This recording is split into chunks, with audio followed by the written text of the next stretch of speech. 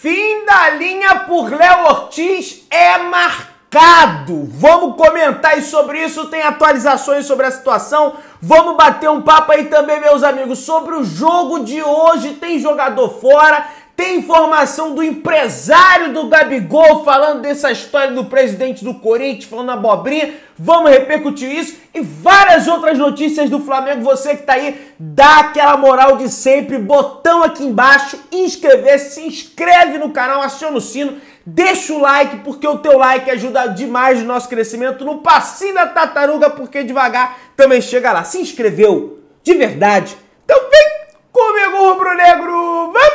Vamos às notícias do Flamengo. É pouco papo, poucas ideias.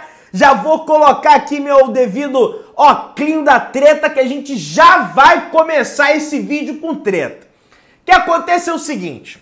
No programa de ontem, da, do Arena SBT, o presidente do Corinthians, o Augusto Melo, teve a maior cara lavada de chegar e dizer que o Gabigol, que eles não foram atrás do Gabigol que na realidade o Gabigol teria sido oferecido ao Corinthians por intermédio de empresário. E aí esse papo furado do presidente do Corinthians chegou no ouvido do empresário do Gabigol, que é o Júnior Pedroso. É um cara sério, é o empresário do Gabigol. E o Júnior Pedroso, durante uma participação ao programa da Jovem Pan, falou o seguinte: na minha opinião, ele foi no meio do presidente do Corinthians e de forma correta. Vamos ver aqui o que ele falou. Abre aspas. O Gabigol não foi oferecido. Por parte do atleta, ninguém ofereceu o atleta para nenhuma equipe. Ou seja, presidente do Corinthians, com todo respeito, mas você é um tremendo de um fanfa, meu querido. Como a gente fala aqui na cidade do Rio de Janeiro, rapaziada aí, você é um tremendo de um fanfa, meu querido. Para de ser fanfa, meu velho. Até contador de história, até figurinha, tá aqui, ó. Pegou uma figurinha, até figurinha que eu colava no meu álbum lá, Brasileirão 2003, ó. Até a tremenda da figurinha, rapaz. Quem não tem dinheiro, conta história, como já diria o mestre Paulinho Gogó. Então para com essa história, rapaz. Nossa, cara, é brincadeira. Tu tá ainda esse bafafá de Gabigol. Que botar o óculos da treta pra você, meu filho. Esquece o Gabigol. O Gabigol vai dar a volta por cima do Flamengo. E se não der a volta por cima, não tem que renovar o contrato. Mas eu vou torcer pro cara dar a volta por cima, porque ele dando a volta por cima é vitória do Flamengo. Muita gente fica no comentário, gente. Eu vou tirar até o óculos da treta aqui agora. Me chamando de Gabizete. Pedré! Tem Gabizete, porque tem Gabizete, Gabizete, Gabizete. Meu amigo, se o Gabigol fazer gol, é gol do Flamengo. Tem Pedrete, Pedro. Se o Pedro fazer gol, vai ser gol do Flamengo. É matemática básica. Gol, gol, 1 a 0, 1 a 0. Pi, acabou o jogo. Vitória do Flamengo. A matemática é básica, meu filho. Mas tá tudo certo. Vamos avançando aí, rapaziada. Tem muita coisa pra gente tratar. Aliás, tem informação nova sobre o Gerson, tá aí, internado desde o último domingo, após apresentar um quadro de hidro, hidronefre, hidronefrose, não sei nem o que, que é isso, com infecção renal, tem alta programada para esta terça-feira. O meia passará, já comentei sobre isso, mas tem atualização aqui, presta atenção. O meia passará por novos exames e não está descartada a possibilidade de um processo cirúrgico, o que deixaria o jogador fora da reta final do campeonato carioca. Então, quem sabe o Gerson pode estar passando por esse procedimento cirúrgico, naturalmente um processo ali mais invasível e ficar fora do campeonato carioca e retornar apenas no campeonato brasileiro. Eu não estou afirmando que isso vai acontecer, mas existe a possibilidade de acontecer. Vamos bater aqui e torcer para que não precise de nada disso e que ele possa retornar o mais breve para os gramados. Ou seja, além da presença dele contra o Boa Vista hoje, ele não vai jogar, esquece. A presença dele contra o Fluminense está praticamente descartada até esse momento com essa nova atualização, com essa nova notícia aí que surge sobre ele. Comentando sobre outro atleta que era dúvida para o confronto de hoje e agora já está confirmado. Com virose, informação do Fred Gomes, do portal GE, é o seguinte. Com virose, Pulgar não se recupera e está fora do jogo contra o Boa Vista. Ou seja, hoje não teremos a presença do Eric Pulgar no time do Flamengo. Ele tá com um probleminha aí, não sei se é aquele vírus lá, não sei se é dengue, sei que tá uma explosão de casos de dengue, coisa e tal. Torço pela pronta recuperação do pulgar. Eu estava infectado com aquele vírus lá, já estou curado, já estou revigorado, recuperado. Torço pela pronta recuperação. Que Deus abençoe a sua vida. Valeu? Eu peço cada um na sua religião. Se não tiver religião, não tem problema. Pensamento positivo para que o nosso pulgar saia dessa situação e retorne o mais rápido possível para os gramados. Vamos, vamos comentar aí, rapaziada. Vamos fazer uma corrente bacana pelo Pulgar. E aí a gente tem aqui a provável escalação do Flamengo, ó, no gol, Rossi, lateral direita, Varela, é, zaga Davi Luiz e Léo Pereira, lateral esquerda, Ayrton Lucas, volante, menino Igor Jesus, olha como é a coisa, não tem Alan, não tem Gerson, não tem Pulgar, não tem Thiago Maia, os quatro volantes do nosso time não estão presentes e tá aí mais uma vez oportunidade, oportunidade pintando pro Igor Jesus e torço para mais um excelente jogo do Igor Jesus com a camisa do Flamengo. Vai dar tudo certo, valeu meu garoto, vai dar tudo certo você vai fazer um brilhante jogo, uma brilhante partida hoje e vai evoluir no time do Flamengo. De La Cruz, de Arrascaeta, dobradinho uruguaia, dupla de meias ali. Everton Cebolinha, Luiz Araújo, Cebolinha lado esquerdo, e Luiz Araújo lado, lado direito naturalmente. E de centroavante, o Pedro aí no time titular do Flamengo, naturalmente no Gabigol. É, no segundo tempo, o Tite deve fazer as substituições, deve botar o Gabigol, deve botar aí o Vitor Hugo também, que está entrando com o Tite nas partidas, entre outros atletas aí devem ser aproveitados, até porque tem que fazer resultado, tem que ganhar, marcação, pressão, não tem que, tem que, tem que, meu irmão, tem que fazer o Boa Vista ter miopia, ter astigmatismo. Ah, Pedrão, tu já tem astigmatismo, tá usando óculos, tá falando o quê? É por isso mesmo, vão para dentro dos caras e, e, e vão vencer essa bagaça desse jogo aí, e é isso aí, tá? E aí, tem muita gente mandando mensagem, Pedrão, Maracanã não vai lotar, Pedrão. Maracanã, pô, pô, meu amigo, aí também é assim. Não é que não vai lotar. Já foram vendidos 26 mil ingressos até o momento. Vamos, botar as circunstâncias aí. Terça-feira, tá? Quarta-feira, todo mundo tem que trabalhar. Ah, mas aí no jogo quarta-feira à noite, também tem que trabalhar na quinta, Pedrão. É, mas aí já tem a cultura da, da quarta-feira, quarta-feira é dia de futebol, a rapaziada vai no clima e não tá nem aí. A realidade é essa. Agora, terça-feira, 9 horas, entendeu? Maracanã, né? Muita gente mora longe do Maracanã, eu mesmo não moro pertinho do Maracanã. Tá chovendo, pelo menos acho que parou agora, mas tá caindo aguaceiro brabo, pelo menos aqui onde eu moro, no Rio de Janeiro. Então, assim, 26 mil ingressos vendidos de forma antecipada, vai bater ali 30, 35 mil. Na minha avaliação, para um jogo contra o Boa Vista, terça-feira, nove e meia da noite, chovendo.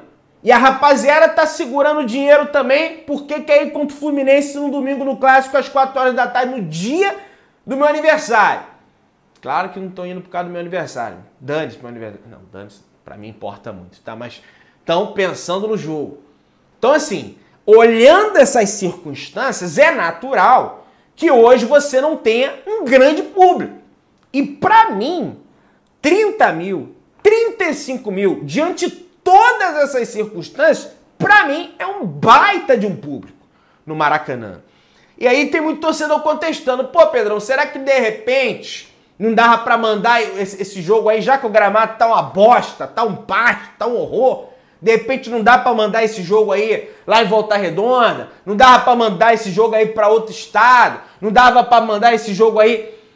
Cara, assim, tem a rapaziada do Rio que quer curtir um jogo do Flamengo também, né? Tudo bem que tem jogo do Flamengo o ano inteiro aqui no Rio de Janeiro, então a gente não pode reclamar de nada, né? Naturalmente tem que dar prioridade pro torcedor que é de fora do Rio de Janeiro, eu sempre bato nessa tecla aqui. Mas tem vários outros estádios no Rio de Janeiro, de repente, Faz sentido isso, pô, pra poupar o gramado pro clássico, mandava o jogo em outro estádio. Mas o Flamengo não quis fazer isso. O Flamengo quis mandar o jogo no Maracanã, mesmo com o gramado estando um pasto, uma roça, capaz de chegar lá no Maracanã e encontrar cavalo, bode, cabra, sempre comento isso aqui com vocês. Mas é isso aí, é o que temos. Pro... E, e tá chovendo, se bater aguaceira vai virar um lamaçal. O Maracanã vai ser uma loucura. Mas enfim, isso não é desculpa para nada. Óbvio, é evidente que o Flamengo tem que jogar num bom gramado, mas não é desculpa. Temos que acompanhar mais uma vitória do Flamengo aí nesse confronto de hoje, beleza? E aí, meus amigos, falando sobre Copa do Brasil, fala de Copa do Brasil, torcedor de fora do Rio de Janeiro, do Flamengo, já esfrega as mãos, torcedor lá do Paraná, doido pro Flamengo enfrentar de, de repente de novo a equipe do Maringá, o torcedor lá de Belém do Pará, doido pro Flamengo enfrentar o Paysandu, enfrentar o Remo, torcedor do Amazonas, doido pro Flamengo enfrentar o Amazonas, né? O torcedor do Piauí que fez uma grande festa em 2022, doida pro, pro doido pro torcedor pegar o Altos, o torcedor do Rio Grande do Norte, doido pro Flamengo pegar o América de Natal, o ABC, né? O torcedor do Sergipe, doido pro Flamengo pegar o Confiança aí, quem sabe jogar no Sergipe de novo, né? Torcedor do Mato Grosso, doido pro Flamengo pegar o Cuiabá, enfim, tem uma infinidade de clubes aí. Aliás, quero saber, vou fazer a seguinte pergunta.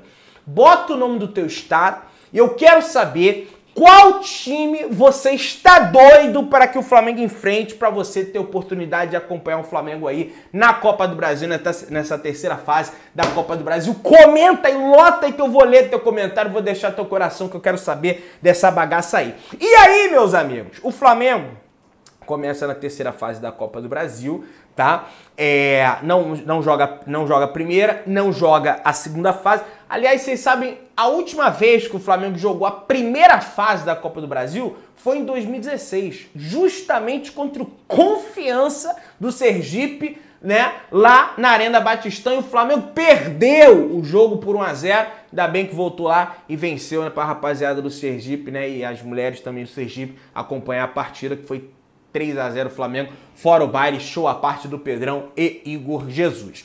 Meus amigos, informação do Fred Gomes, do GE.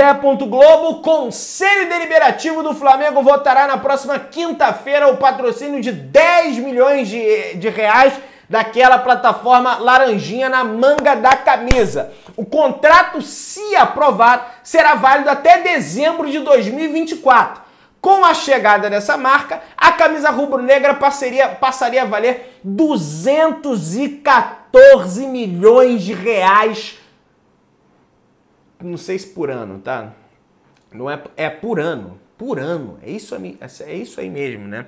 Quer dizer, é, você tem aí, vou, vou pegar aqui os patrocinadores do Flamengo, ó. É, a empresa de aqui eu, eu, eu, sabe o que acontece, gente? Sabe por que eu não comento certos nomes aqui?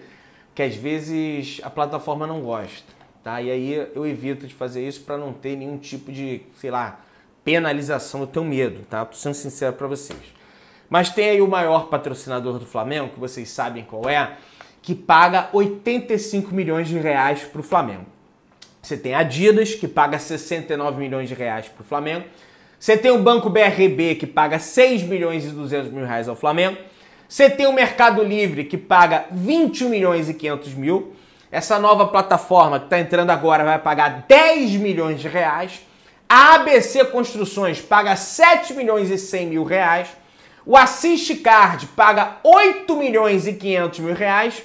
E a TIM Operadora paga 7 milhões de reais ao Flamengo. Então, totalizando todos esses patrocinadores, eles pagam um valor de 214 milhões e 300 mil reais ao Flamengo. É uma grana muito alta e que não tem desculpa para o senhor Braz, para o senhor Spindle, né? Depois falar em coletiva, ah, porque só tem tanto pro futebol, sempre que você vai ver a receita mensal. Aliás, teve um camarada como eu, pô, Pedrão, cada hora tu fala que a receita do Flamengo é uma. Não, deixa eu explicar para vocês. Vamos lá.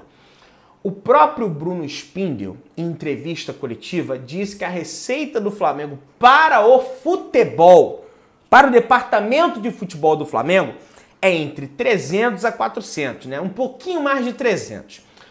Suponhando que, é, supomos que, supomos não, né? Tá aí Ano passado o Flamengo teve um bilhão, mais ou menos, vamos deixar um número redondo, eu sei que foi um bilhão alguma coisa, mas um bilhão, tendo 300 milhões para o futebol, o Flamengo tem 30% do faturamento todo só para o futebol. Os outros 70, não sei, vai para sede social, vai para os outros esportes, vai para o basquete, vai para o vôlei do Flamengo, vai aí para ginástica, enfim, outras situações. O Flamengo é um clube poliesportivo então, assim, 300 vai pro futebol. Vamos botar aí. Ah, tu falou 160. 160 foi o que o Flamengo definiu para aquisição de jogadores. Tá? Ah, mas e os outros? Os outros você tem que pagar o elenco. Por mês, o elenco do Flamengo custa 25 milhões de reais. Então não é só contratar jogador. É isso que eu quis dizer, só explicando. O companheiro comentou, pô, tá errando. Não tô errando.